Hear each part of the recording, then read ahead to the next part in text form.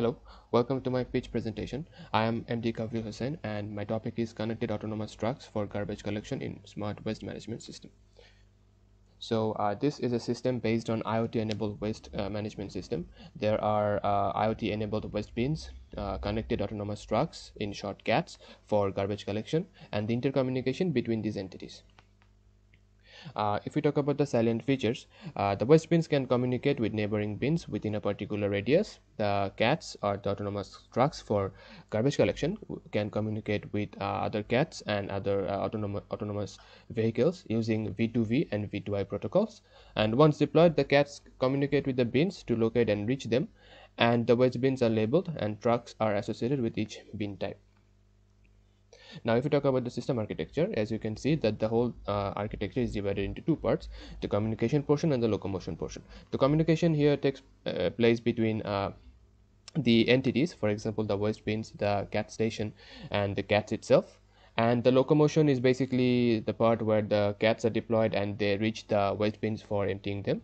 And also uh, it contains the valuable the very important portion of the its involved. That is the communication between the uh, trucks and the other vehicles for a smooth journey now the system flow. So it's a basic very uh, it's a very basic system as uh, as you can see. The uh, waste bin data sent uh, from the waste bin to the cat station will be uh, justified. And uh, the system will see whether the data says if the bin is full or not. And there will be a particular threshold of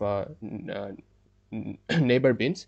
So the system after uh, seeing whether a particular bin is full or not it will go uh, forward to uh, judge whether the neighboring uh, bins the number of full neighboring bins uh, match the threshold. And if so then it will deploy the cat. Otherwise it will just move on to reading the uh, other data sent by the other waste bins so moving on to the simulation let's actually uh, categorize the bins into three types for the simulation uh, recyclable A, recyclable B and non-recyclable.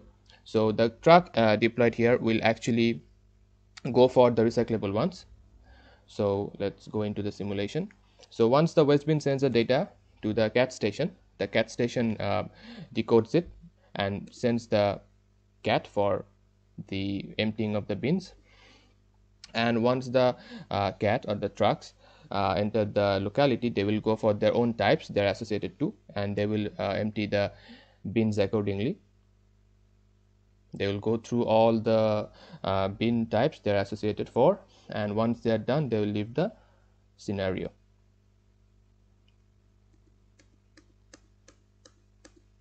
So that's all. Thank you